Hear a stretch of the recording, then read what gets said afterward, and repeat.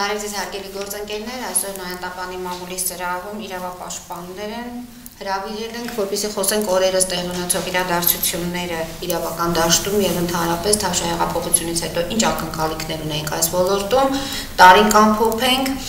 Տիկին Կարապետյանց խոսքը առաջինը գուցե ձեզ։ Նինա Կարապետյան, Ցելսիկյան ասոցիացիայի նախագահ։ Մենք հետևում ենք ձեր Facebook-յան էջին, դուք բավականին ակտիվ եք նաև համացանցում, բացի նրանից, որ դատարաններում եւ այլն։ Ինչ տեղ ունեցավ վերջին օրերին։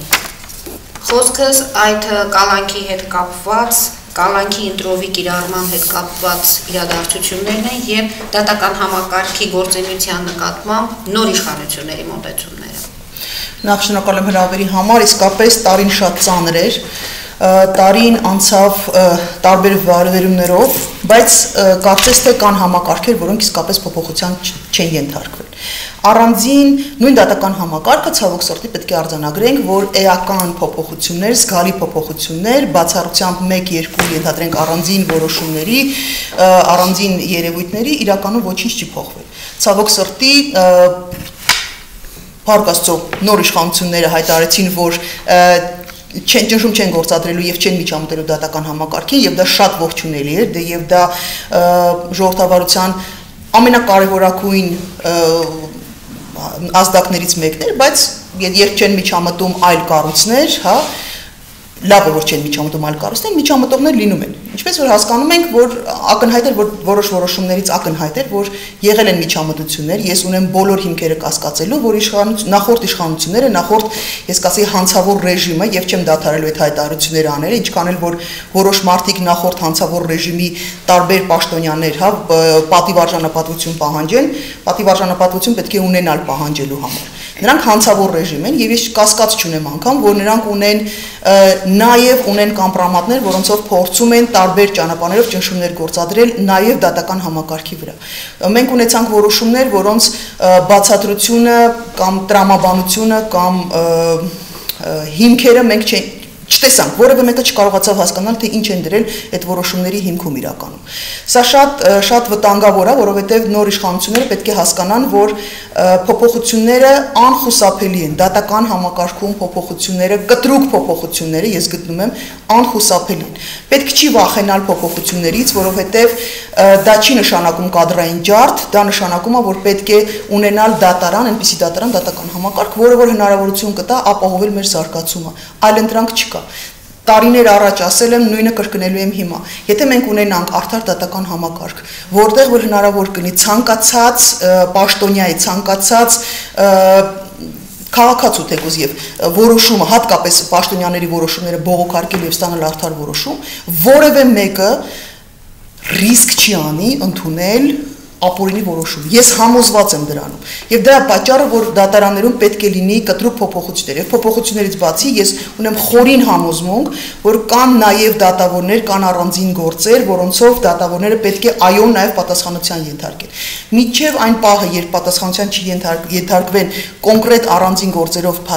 դատավորներ, մենք չենք ունենալու իսկապես այդ այդ արդարադատության համակարգը մեր մոտ չի աշխատելու, ուղղակի չի աշխատելու։ Դրան հակադարձ պատասխանում եմ, որ սա ընտրովի մոտեցումա լինելու եւ խտրական վերաբերմունք անելու ինչպես են որոշելու այս գործով լինելու են դատավորները պատժվելու են թե ոչ ամեն դեպքում կան գործեր որոնք այնքան բացահայտ են այնքան կեղծ են օրինակ մարտի 1-ի գործով ես համոզված եմ որ միջև անգամ ներկայումս աշխատող օրինակ նույն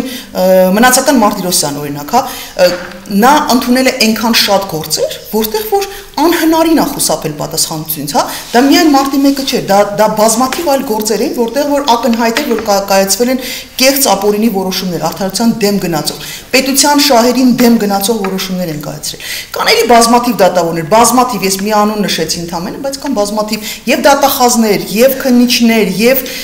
դատավորներ, դա անխուսափելի է, եթե չլինի պատիժը, հաջորդի եկող դատավորները նրանք ուղղակի չեն աշխատելու կամ կամ կամ ինչ որ մի պահ աշխատելու են, հետո նորից վերադառնալու են այդ առատավոր երևույթների, բնականաբար դրա մեջ ներառում է նաև այդ ոլորտում նաև փոփոխություն, նու լավ իմաստով փոփոխություններ, հա, նաև աշխատավարձների բարձրացում, նրանց անվտանգության, նրանց անկախության, այդ խայտարակ ԲԴԽ-ի, հա, այդ վերահսկողության դատավորների այդ համակարգի փոփոխություն, համակարգային փոփոխությունը իսկապես անհրաժեշտ։ Մենք ունենք պիտանելիության ցուցակներ, որոնցով շատ հանգիստ կարող են նոր դատավորներ, դեռ չառատավորված դատավորներ, բերել նոր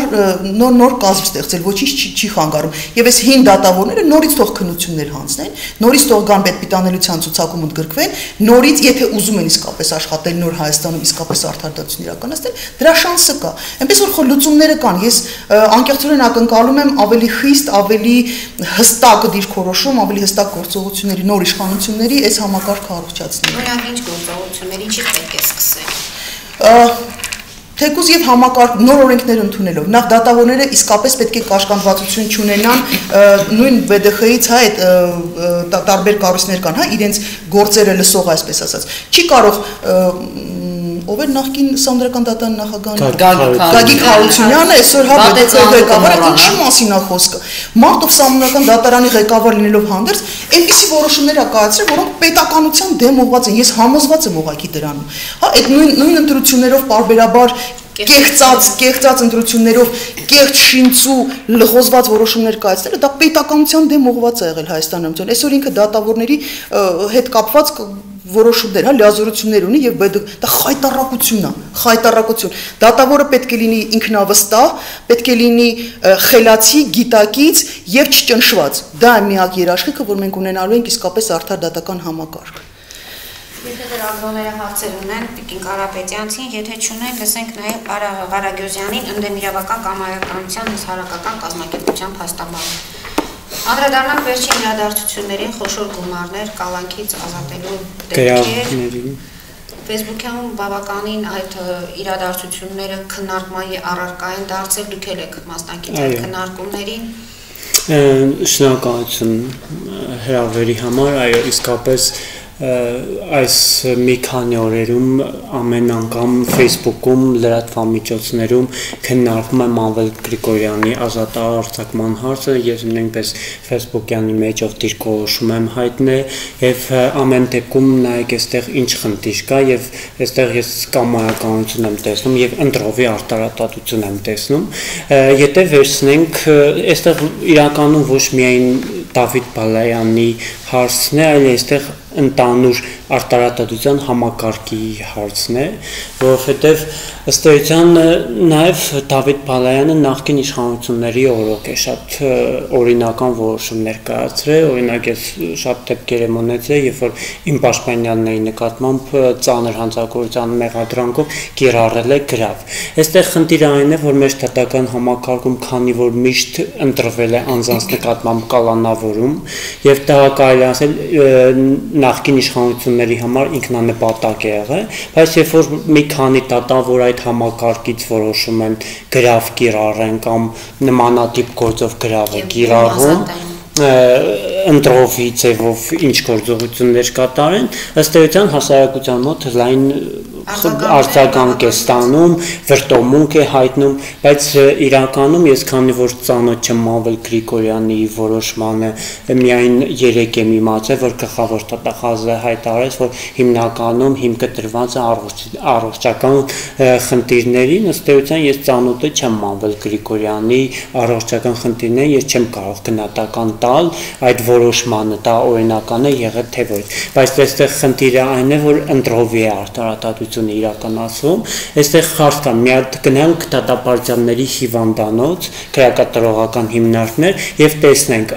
Մավել Գրիգորյանից ավելի ծանր հիվանդներ կան, թե ոչ, ցմատադապարդյանները ունեն բազմաթիվ առողջական խնդիրներ, 20 տարուց ավել նրանք այս հարցը բարձրաձայնում են, բայց նա շատ դեպքերում ունենք նաև ցմատադապարդյաններ, որոնք որ այս տարի նախորդ տարիների ընթացքում մահացան առողջական խնդիրների պատճառով, այսինքն ինչի պետք է մի անձի նկատմամբ գրավ կիրառվի, իսկ մի անձի նկատմամբ պետք է առողջական խնդիրների պատճառով ոչ պատշաճ բուժօգնություն ստանալու հետևանքով անձինք մահանան, որ ըստ էության այդ ընտրովի արտարատադրության հետևանքով դրանից բացի նաև այսօր նաև խնդիր է առաջանում ըմբոստության այն կալանավորված անձինք ովքեր որ ավելի նվազ հանցագործության մեջ են մեղադրվում եւ առավել հիմքերը կար անձի նկատմամբ գրավ կիրառելու հիմա տեսնում եմ որ Մանվել Գրիգորյանը ազատության մեջ է գրավով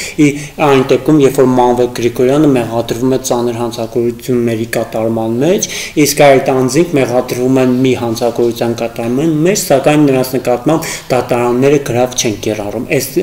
սա է խնդիրը անարտարությունը ընտրովի արտարատադրությունը իսկ այստեղ ընդամպես Դավիթ Բալայան կամ Ազարյան այն այն դատավորներն են որ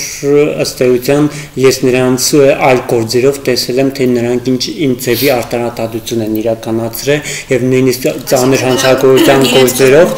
գրավ են կիրառել իսկ ոչ թե սկզբունքների դեմ են գնացել, այլ ըստ էության օրինակ Դավիթ Բալայանը վերցնենք, եթե այսօր ասենք Մանվել Գրիգորյանը իսկապես առողջական խնդիրներ ունենա եւ ես համոզվեմ եւ իսկապես կասեմ, որ այո, Դավիթ Բալայանը օրինական որոշում է կասել, քանի որ նա փրկել է Հայաստանի դեմ եվրոպական դատարանում վճիրների կատարմամբ։ Իսկապես ոչ թե սա է խնդիրը, այլ նա է խնդիրը, որ համաչափորեն արտարատադրությունը մեր երկրում չի իրականացվում։ Ընտրովի է իրականացվում եւ շատ դատապարտյալներ կամ կալանավորված անձինք կան, որոնք որ ունեն առողջական խնդիրներ, սակայն նրանց նկատմամբ նույն մոդեցումը չի կիրառում, ինչ որ կիրառվեց մի շարք նախկին իշխանությունների մի շարք պաշտոնատար անձանց նկատմամբ։ Դրանից բացի նաև իմ մտահոգությունը կայանում է նրանում, որ օրինակ այս օրերին հավաք հավաքների ազատություն են իրականացնում եւ դա շատ ողջունելի է ցանկացած ժողովրդավարական պետությունում այդ դա պետք է լինի եւ քաղաքացիները պետք է եթե համաձայն չեն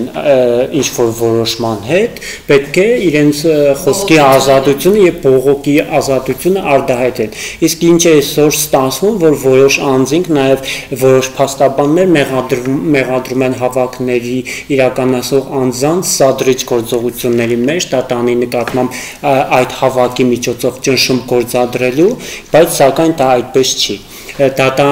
հավաքներ իրականացնելով նույնիսկ եթե նրանք գնային դատանի արժև այդ հավաքը իրականացնեն դա դատանի նկատմամբ ճնշում չի կարող համարվել որովհետև այդ անձինք իրականացրել են իրենց խոսքի ազատությունը եւ հավաքների ազատությունը այլ դատանի նկատմամբ ճնշումը նա է որ նախկին իշխանությունների կողմից բազմաթիվ անգամ ճնշումների են ենթարկվել ենթարկել եւ դատավորները անկախ չեն եղել իսկ այս պարակայում երբ որ Նիկոլ Փաշինյանին որոշ անձինք մեղադրվում են իբրև նա միջամտում է տատական համակարգին, մենք տեսանք, որ դա այդպես չի եւ մարտիկ որոշումներ են կայացնում եւ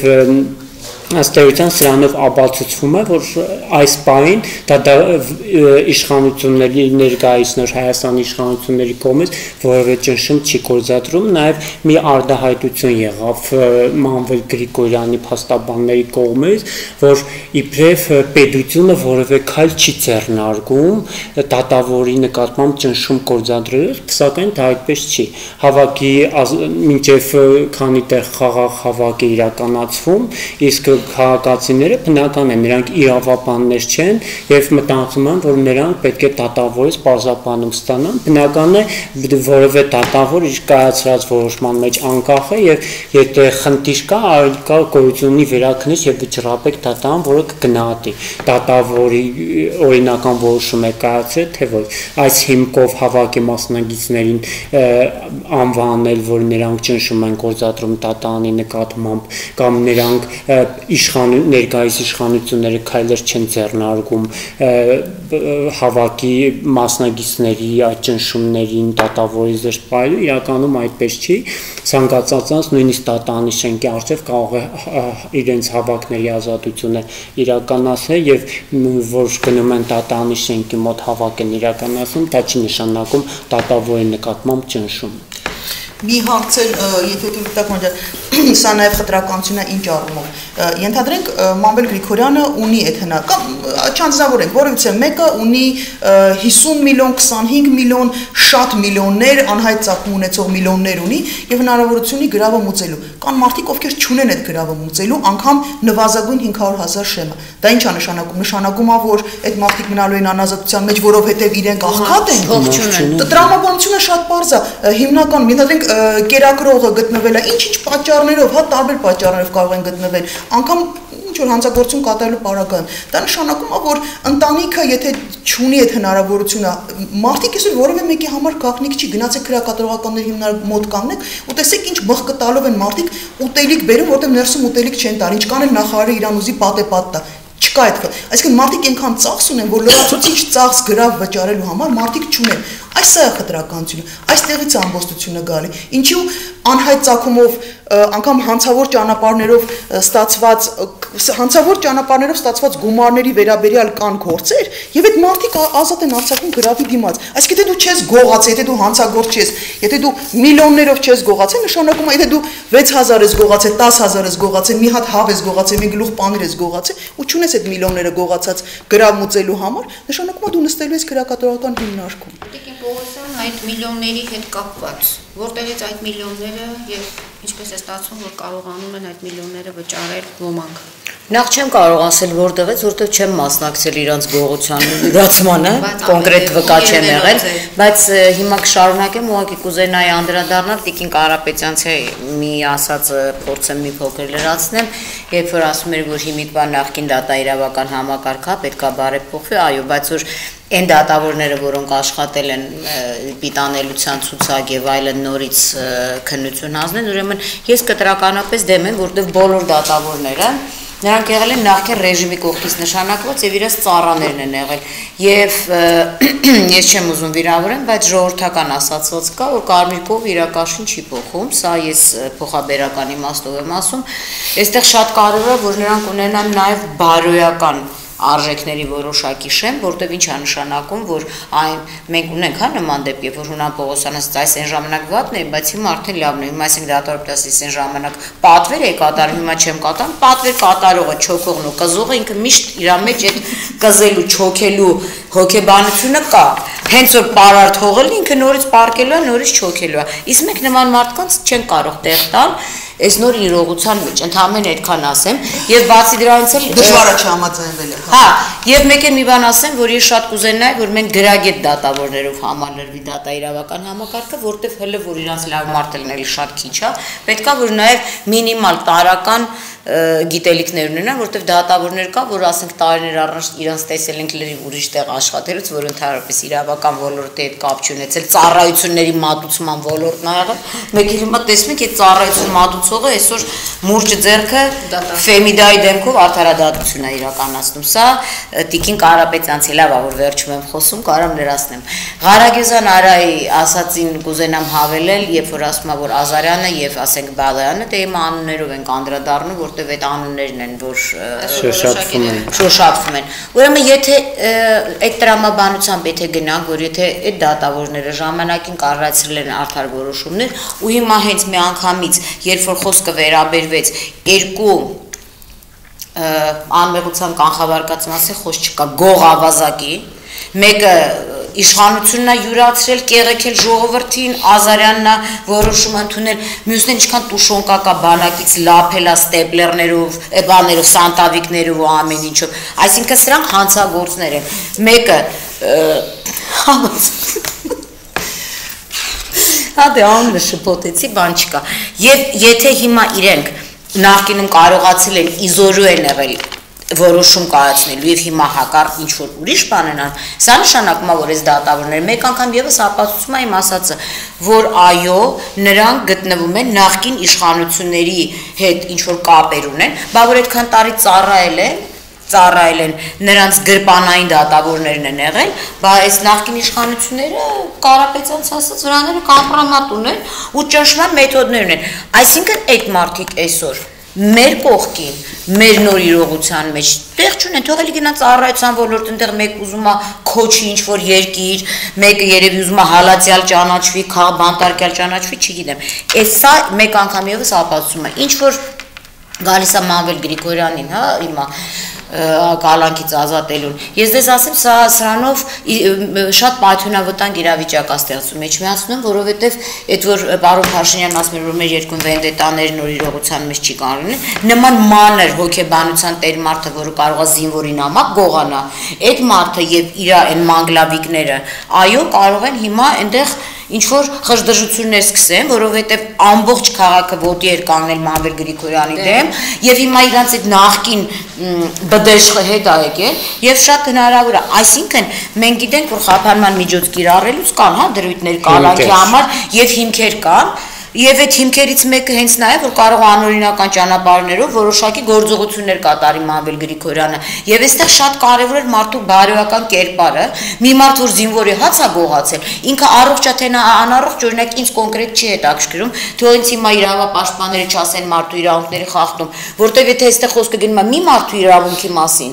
ինքը խախտել է բազմաթիվ զինվորների կյանքի, ապրելու եւ առողջության իրավունքը։ Բա նրանց մերերը այսօր ինչ ասեն Թող քիչ լափեր, թող չի հիվանդանար։ Այդքան տուշոն կա ուտի, որ առողջ մնա։ Տիկին Կարապետյանց։ Ուրեմն այստեղ հայացքից զգացում հա, հա, ուրեմն պետք չի առարկել։ Այո, եթե մեր երկրում մենք Մանվել Գրիգորյանը առողջական խնդիրներով վերջին մարդը պետքա լիներ, վերջին էր մնացածը դատապարտյալների հիվանդանոցով, բոլորով անցնեին, այնքը լիներ ամենավերջին, երբ որ վերջին Իրան առողջական խնդիրներով կասեի հա, բայց այսօր խտրական Իրան առողջական խնդիրներով, բայց զինվորները առողջական խնդիրներ չունեին, Այն բոլոր հանցագործությունների մասին, որոնց մասին անդադ պատմել, այո, հələ որ ենթադրալ են չի հաստատվել դատարանի կողմից, բայց այդ ավարը պատերազմի մենք պատերազմող երկիր ենք սա ռազմական հանցագործություն է սա մարդկության դեմ կատարած հանցագործություն է մարդկության այո ինձ համար էլ ամեն մարդու կյանքը արժեք ունի եւ առողջությունը եւ իրավունքները բայց եթե շերքի մի նժարեն դնում ենք մի մարդ կողքը դնում ենք մի բանակ որ Ղարաբաղի պատերազմի տարիներին այդ գողությունը այդ ավարը այդ ամեն ինչը արել եկել է ինչի մասին է սրանք պետքա նյուրնբերգյան process պետք է արներ սրանք բոլորը իրանք ու իրանց նազիր մարզպետեզիր դատավորները, իրանց սпасարկող դատախազական անձնակազմը, իրանց այդ Էջմիածնի ու Արմավիրի ձկանոցներում լափող իրավապահները ժամանակին։ Սրանք բոլորը պետքա կանեն, որտեղ իրանց թողտվությամբ է եղել, որ այսօր բանակում մեր երեխաներ ապրիլի 2-ի պատերազմի ժամանակ Պեչենիա են ուտում։ Բա այն ժամանակ ինչի՞ մեկը չէր ասում այդ երեխեքի առողջությունը, որ առաջի գից կռվում են։ Հիմա մանվելը առողջականն է կարևոր։ Բացարձակապես ես այդտեղ համաձայն չեմ։ Առողջ էր անառողջ էր թող մնար իր տեղում, որտեվ այսօր իր դուրս գալով կարող է այ ոնց որ ժամանակին Քոչարյանը, հա, ազատության մեջ գտնվելով կոնսոլիդացրեց իր կողքը այս ընտրությունների վաղ տեսանք ձիերով, թուրերով, ես իմիջ որ սենց իր այդ ձին մեղք չուներ, ձին Ձին չէ։ Չէ, ձին մեջների մեղսունակը մենակ ձին էր։ Այն մնացածները, որ հայտնվեցին Քոչարյանի կողմը, հիմա էլ կհայտնվեն Մանվելի կողմը։ Սա ինչ է նշանակում, այսինքն մենք մեր բանուգործը թողնենք անընդհատ ժողովրդի մեջ կատակլիզմներ լինի, բայց ժողովրդը երբ է արարելու, երբ է աշխատելու, որ առավոտից իրիկուն դուրս գա հիմա այլ փողոցում մանվելի համար եւ վաղն էլ մանվելն ու իր մանկլավիկները սկսեն հարցեր լուծել։ Ոչ, ես այդ ամեն ինչին դեմ եմ եւ ընդունում եմ, որ այո, խտրական արդարադատություն է կատարվել եւ այստեղ մանվելի առողջական ինքը շատ առուկ վազվզում էր, եթե դուք այսօր ձեռնափայտով եք քայլում, մանվելը նենց վազեց ԱԱՑ-ից, կի ես իր հետևից չէի հասնի։ Սա տենց, այն ինչ որ վերաբերում է ձեր մյուս հարցին, որ վերաբերում այդ գումարներին, որոնք մուծվում են, ես բազմիցս ասել եմ եւ ելի եմ ասում, հենց այդ գրավի մուծման պահը դուք պատկերացնում եք մարդուն մեղադրանք առաջադրվում փողերի լվացման համար, գողացած փողերի համար, յուրացման համար, մեկը այդ ու ինքը այն մարդը, որ դրա համար է իրան, ինքը վերում է մատի լրացուցիչ, ասենք մի 25 միլիոն, սենց Զբարսկովը պլիչա շպրտում ասում է այս էլ իմ գրավը։ Մեկը չի ասում 25 միլիոն քեզ որտեղ է ծնգեր ջան։ Հենց այդ բանը արդեն հաղորդում է անցագործության մասին։ Ես էլի եմ ասում, ես դեմ չեմ որ մարդիկ գրավով ազատվեն եւ ի վերջո խափանման միջոցը դա պատժամիջոց չի, որ ասենք հա թող բոլորին հա, ասենք որ թող բոլորին տանեն կալանավորը, պետք չի շքան շատ կալանավորն այնքան բեռը մեր հարկատուների ուսերին հանգնելու, բայց կան որոշ մարդիկ, Չէ՞ որ դատարանը պետք է այդ համակցությամբ կայացնի իր որոշումները եւ մարդու բարոյական կերպարը եւ նրա հնարավորությունները եւ նրա արած հանցագործությունները եւ այն հետևանքները, որ կարող է առաջանա նրա դուրսը լինելուց։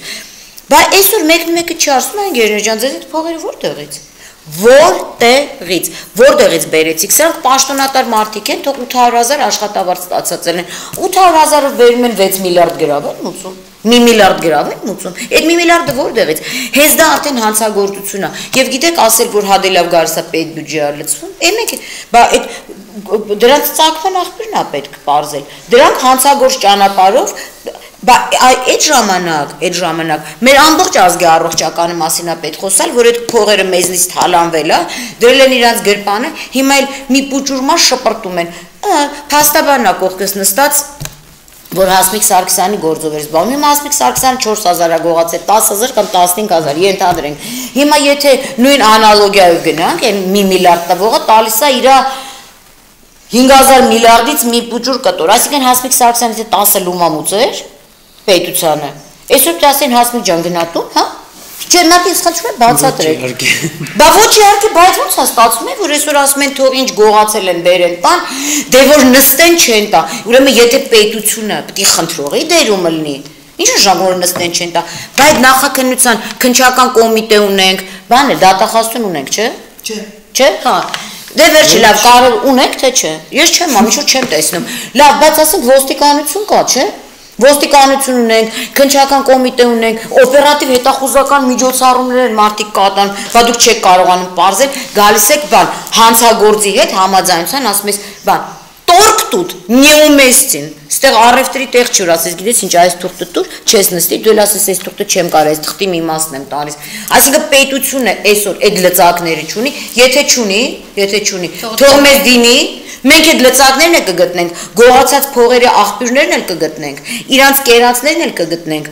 Մեր մնացածը չասեմ։ Լավ, եթե փաստորեն ամփոփենք տարին եւ ակնկալիքները 2019 թվականին ինչպիսին են։ Երեքի դեպ Դեպ իդեպ չեմ կարող չարձագանքել, վերջերս իրավապաշտպանների հասցեին մեղադրանքներ են հնչեցնում եւ հատկապես ինձ համար անհասկանալի եւ անընդունելի էր պարոն Շահնազարյանին, ով ներկայանում է որպես ԱԱԾ տնորեն, ճին է մարդ 6 ամիս աշխատում այն որ պաշտոնում, հետո ԱԱԾ-ի չէ, ԿԳԲ-ի տնորեն, ղեկավար։ Չեկիստ։ Հա, չեկիստ։ Ու իրան իրան 6 ամիս ընդամենը աշխատում, բայց բոլոր տեղերում ներկայանում որպես ԿԳԲ-ի շեֆ ա եղել։ Ուրեմն մարդ, որը որ մարտի 1-ի իրադարձությունների ժամանակ եղել է բարիկադներից մի կողմ, իսկ այսօր անցել է բարիկադներից այս կողմ, ժողովրդի վրա կրակող հանցավոր ռեժիմի կողքը ու ներկայանում է որպես մտահոգ, որպես հալածյալ, հալածյալ, չգիտեմ, հետապնդվող, որպես այս ազգին միակ sense նվիրալու ճշմարտություններ ասողներ, ու ասում է դե որ ինձ արձագանքող չի լինում, ուրեմն ասածը ճիշտ է։ Ուրեմն դες չեն արձագանքում պարոն Շահնազարյան, որովհետեւ նպատակահարմար չեն գտնում, որովհետեւ ծերուկը արդեն լրիվ հնացել է, ծերուկը անտանելի է դարձել։ Անտանելի է դարձել։ Ծերուկը խոսում է այնպիսի բաների մասին, որոնք մեղսունակության հետ լուրջ խնդիր ունեն։ Ես կարող եք անգամ դիմել պատիվ արժանապատվություն պահանջել չի կարելի իրավունք չու բարոյական իրավունք չունի եւ բարոյական բոլոր նորմերից եւ օրենքներից զուր կային մարդը ով մարտի 1-ը տեսել է ով մարտի 1-ին գիտի թե ինչ է տեղի ունեցել ու այսօր կասկածի տակ անում այն իրավապաշտպաններին, այն կառույցներին, այն մարդկանց, ովքեր որ ջանք ու երան չեն խնել նախորդ հանցավոր ռեժիմի ժամանակ, որին ինքը այսօր sense թեւ ու թիկունքական է թեւերն փռել պաշտպանում, ովքեր որ մարդկանց էին հետապնդում, ովքեր որ մարդկանց գնդակարում էին, ովքեր որ մարդկանց անօրինական բանտերում էին պահում, ովքեր որ մարդկանց բանտերում ծեծում էին ու չէին բացահայտում, դատարաններում ծեծում էին չէին բացահայտում։ Այդ ժամանակ երևի թե խնդիր չուներ, Արայք Հանդոյանը խնդիր չուներ, Հրաչյա Գևորգյանը խնդիր չուներ, որևէ մեկը խնդիր չուներ։ Մենակ Մավելը ուներ։ Դու չեմ ուզում ես պայն Դե շատ իզուր։ Պարոն Շարնազարյան, իրավապաշտպանների աշխատանքը, ազնիվ աշխատանքը մի դրեք կասկածի տակ, որովհետև վաղը միսօր դուք նույնպես կարիք եք ունենալու իրավապաշտպանների։ ու այդ իրավապաշտպանը իրականում ես կլինեմ այն մարդկանցից քչերը Տիկին Պողոսյանը սակասին ես չեմ անելու բայց ես իսկապես այնպես ինչպես որ Սերժ Սարգսյանի Ռոբերտ Քոչարյանի ժամանակ առաջարկել են որ մենք կլինենք այն քիչ մարդկանցից ովքեր կարձագանքեն եթե իրանց նկատմամբ լինի խոշտանգում եւ հետապնդում ես կքրեմ ձեզ այո մենք պատրաստ ենք արձագանքել դրանց Նաև ձեզ ձեր ձեր ապորինի հետապնդումներին եք պատրաստ, բայց այն որ դուք ձեր բոլոր արածների համար եւ այդ հանցավոր ռեժիմի ներկայացուցիչները եւ հանցավոր կուսակցությունները, որոնք տասնյակ տարիներ խոշտանգել են ժողովրդին կեղեկել են, պատասխանություն պիտի գրեն ու մի փորձեք կասկածի տակ դնել իրավապաշտպանների աշխատանքը։ Մեր աշխատանքը այնքան մեծ է, մեր աշխատանքը այնքան ծանր է, մեր աշխատանքը այնքան առարկայական է, կոնկրետ մարդկանց կոնկրետ օգնություններ ցույց տալով ու համակարգում խնդիրներ բարձրացնելով, որ խորհուրդ կտամ ձեզ նման մարդկանց առհասարակ ոդի տակ չընկնել ու չխանգարել մեր աշխատանքին։ Ու կասկածի տակ էլ չդնել։ Փաստորեն Տիկին Կարապետյանց դուք արդեն ասացիք 2019 թվականի ձեր անելիքների մասին։ Ես ասեմ, մենք մենք անկեղծորեն պատրաստ ենք եւ դա կարծում եմ իրապես իրավապաշտպան կազմակերպությունները իրենց իրավապաշտպան համարող մարդկանց դերակատար, դա իմ կարծիքն է, Տիկին Պողոսյանի մա չի համաձայն, բայց ինչ որ է։ Լինել բոլոր այն մարդկանց կողքին, ովքեր որ հետապնդում, ապորինի հետապնդվում են, ովքեր Այդ ապորինի բառը դուրս եկավ։ Իսկ այն որ մարդիկ պիտի իրենց գործողությունների համար պատասխան տան, մենք դրա համար ենք պայքարելու։ Այո, հանցագործները պետք է բաց հայցագործությունները պետք է բացահայտվեն եւ հանցագործությունները հատկապես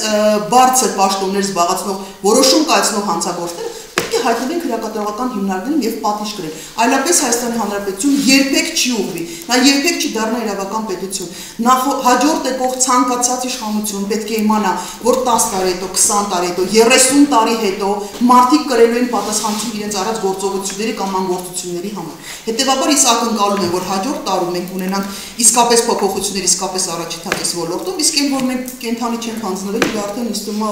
21 տարվա աշխատանքը Կահոյցիկյան ասոցիացիա արդեն իսկ ապացուցում է, որ մենք կենթանի չենք հանձնվել։ Պարոն Արարատյան, ինչ ունեք ավելացնելու։ Տեսեք, բան, ի վերջո էլի բան եկանք այն իմ ասացին, որ այդ ընտրովի արտարատադրությունը նույն Տիգին Կարապետյանցը խոսեց հացբերողի Արայիկ Խանտոյանի մասին, այն ռեժիմի իշխանությունը որ կար, իսկապես ոչ միայն այդ անձին կային առողջական խնդիրներ ունեցող, այլ նաև բազմատիվ անազատության մեջ գտնվող այո, անազատության մեջ գտնվող անձին կային, որ մենք տեղյակ չենք եղել, թե ինչի համար են այդ մարդիկ կյանքից հեռացել եւ կյանքի իրավունքը ոտնահարվել է եւ բազմատիվ ի վերջո բողոքներ կա մարդու մարդկանց կյանքի իրավունքի խախտման դեպքերի առնչությամբ նույն զինծառայողների կյանքի կյանքի իրավունքի ոտնահարման բազմատիվ դեպքեր կան իմ ասածը ի վերջո նրանն է որ ի վերջո պետք է բոլորի նկատմամբ հավասարություն լինի եւ արտարադատությունը պետք է գործի ոչ միայն մի քանի անձանց նկատմամբ մի քանի անձին պետք է նրանց նկատմամբ գրավ կիրառեն այլ ի վերջո պետք է բոլորի նկատմամբ եթե արտարադատություն է պետք է բոլորի նկատմամբ եւ հավասարապես կիրառվի արտարադատություն տեսեք նաեւ այս նոր իշխանություններին մեղադրում են անօրինական գործողությունների կատարման մեջ որին ես ընդհանրապես համաձայն չեմ նու տեսեք նախքին քաղբանդարգյաններին Գևոր Սաֆարյան, Արայիկ Խանդոյան, Արարատ Խանդոյան, ինչ կան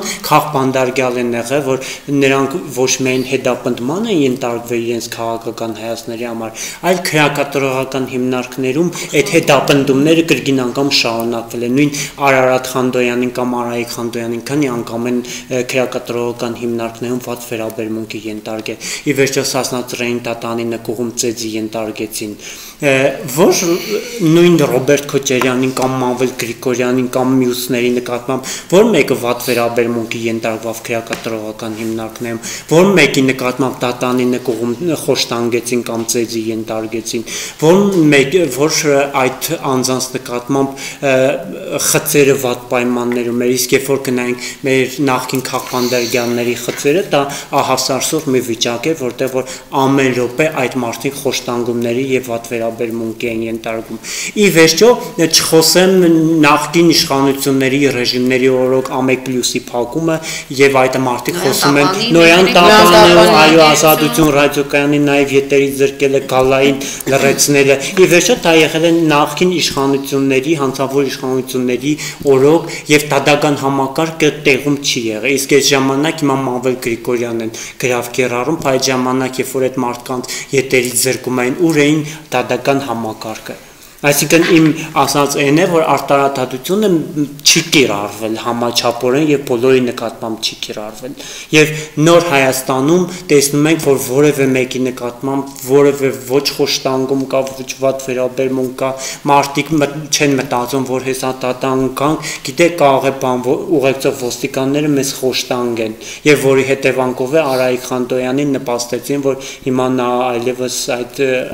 մարդը, որը մեծատառ ով մարդեց հիմա այլևս մեր հետ չի։ Հիմնականում էս է եղել, այնպես չի որ արտարատաջությունը լիարժեք կիրառվել է։ Եվ նոր նոր Հայաստանում որևէ նման միջադեպեր մինչև օրս չի գրանցվել եւ պատշաճորեն իրացվել է այդ անձանց իրավունքների պաշտպանությունը նույն փաստաբանները շատ ամեն օր կարող են մամուլի ասուլիսներ տան իրենց նկատմամբ հետապնդումներ չի իրականացվում բայց տեսեք քաղբանդարգյանների պաշտպանների նկատմամբ ինչեր էին կատարվում նախկին իշխանությունների օրոք եւ նոր նոր Հայաստանի նոր տարում 2019 թվականին շատ մեծ հույս ունեմ, որ ի վերջո արդեն կսկսի մարտի 1-ով տադակնությունը, ի վերջո նաև որ անդադ խոսում է անցումային արտարատալության մասին, արդեն իսկ կկիրառվի, նախկին զոհերի ումոր իրավունքները խախտվել է, անարտար տադական ակտեր են կայացվել, պետք է այդ բոլոր տադական ակտերը վերաբացվի, նույն ի վերջո մարտի 1-ով արդեն իսկ Հայաստանի դեմ որոշումներ կան։ Իսկ գլխավոր տադախազությունը ինչի մասին է մտածում, որ մինչև օրս չի դիմել վճռապեկ դատարան այդ գործերը վերապասման պահանջով։ Եվ հույս ունեմ, որ իսկապես 2019 թվին կլինի այն Հայաստանը, որտեղ որ իսկապես արտարադատություն կիրականացվի եւ կտրական եւ տեսանելի փոփոխություններ կլինեն դատական համակարգում, ի վերջո նման խնդիրներ չեն լինի, իսկ ովքեր որ հանցագործություն են կատարել, պետք է պարտադիր հայտնվեն քրեակատարողական հիմնարկներում ոչ միայն ես իմ քանի միլիոն բերել հետ տալով կողացած է, այլ պետք է ենթարկվեն քրեական պատասխանատվության։ Եթե այդ սկզբունքով ենք շարժվում, ուրեմն այն անձինք, ովքեր որ գողություն են կատարել եւ տանդապարտվել են եւ գույքը հետ են բերել, ուրեմն այդ անձանցը պետք է ազատ արձակվի։ Եթե բան խտրականություն պետք է չլինի, եթե տենց է, եթե այս անձին գումարը հետ են տալիս ազատվում են, ուրեմն պետք է բոլոր տադապարտյանների նկատմամբ այդ նորմը կիրառվի եւ այդ մարտիկը պետք է ովքեր որ գողացել են եւ գողորնը հետ են տվել, պետք է ազատ արձակվի։ Չի կարելի գումար գումարը հետ տալով ազատվել քնական պատասխանատվությունից։ Տիկին Պողոսյանի ինչ ունեք ավելացնելու եւ քանի որ մեր սա տարեվերջյան արդեն ասուլիսն է, Կուզենամ դրական նոտայով ավարտենք, ասեմ, գալիք տարից ինչ ունենք սպասելու։ Անցյալ տարին շատ իրադարձություններով լի տարի էր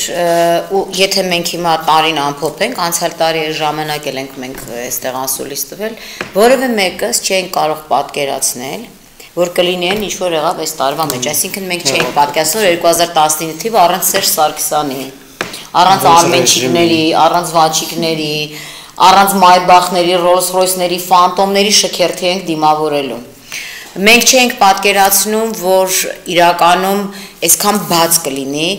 դաշտը, այսինքն մենք երբևէ չգիտենք, թե ԱԱՑ-ն ինչով է զբաղված նախկինում։ Եկեք հիմա པարզ խոսանք, որ հիմա գիտենք Նու մոտավորապես հա գիտենք։ Որոշ չափով թափանցիկ է։ Ես իդեպ ասեմ ԱԱՑ եմ եղել այս վերջերս ու շատ զարմացա, որտեղ այնտեղ լինում դիքին Ա, դե համագործակցում ենք։ Չէ, ասեմ շատ հետաքրքիր է, այնտեղ ատմոսֆերա, մտնոլորտը փոխվել է։ Ես այն էլ որ ես եմ ասում, միշտ կուզենամ, որ 2000 այս իրականում շատ դրական փոփոխություններ ա եղել։ Եկեք մենակ միշտ վատի մասին չխոսանք, եղել է դրական փոփոխություններ։ Իմ համար ամենամեծ դրական փոփոխությունը նա է, որ ի վերջո մեր ժողովուրդը սկսեց հավատալ ինքը իր ուժերին, որ ինքը կարող անել, որտեղ մինչև այդ ինչ ասում են, ասում են, «Ա դե մեկա բան չի փոխվի» կարևորը այն հիմնակարն է որ դրո ժողովուրդը գիտի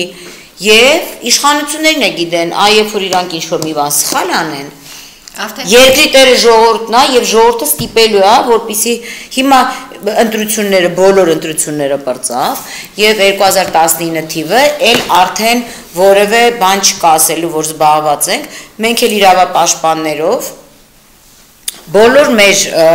գործերով, մենք հնարավորություններով սատարելու ենք, իսկ եթե չանեն, մենք ստիպելու ենք։ Եվ երկու մեծ ցանկություն ունեմ։ Նախ, կուզենամ, որ մենք ունենանք այնպիսի դատական համակարգ, որ 2019 թվին ոչ մի գործ չգնա Եվրոդատարան։ Դա իմ ամենամեծ ցանկությունն է, որովհետև ի վերջո դա ամոթ է դրսից եթե դուրսն է լուծվում, այսինքն մենք ներսում չունենք այդ պոտենցիալը լուծելու եւ հա դա իմ համար շատ կարեւոր է եւ դա իմ ցանկությունն է որ որևէ գործ չգնա Եվրոդատարան եւ երկրորդ ամենամեծ ցանկությունս այն է որ 2019 թվականին մենք ունենանք դատախազություն որը որ մենք չունենք ես կարծում եմ որ կձևավորվի այդ